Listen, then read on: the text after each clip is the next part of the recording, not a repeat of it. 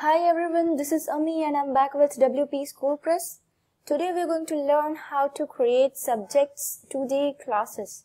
So let's start by going to subjects tab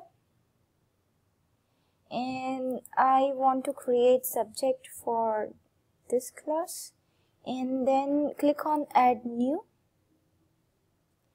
and you can start adding subjects like science code is this. And then also you can assign subject teacher. And then book name. The reference books which uh, you are using at your school. And then likewise you can create list of subjects for your uh, required class.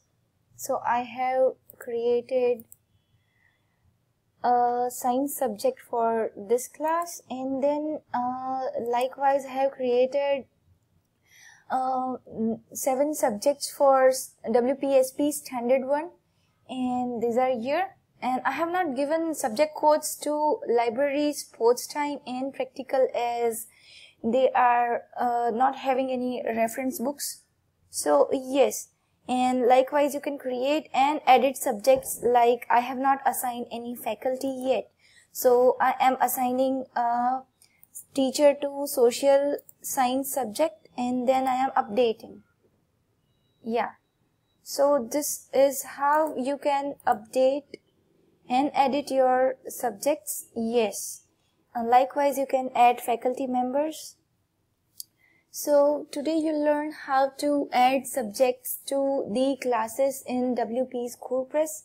I hope this video uh, was a beneficial video for you uh, to learn WP School Press.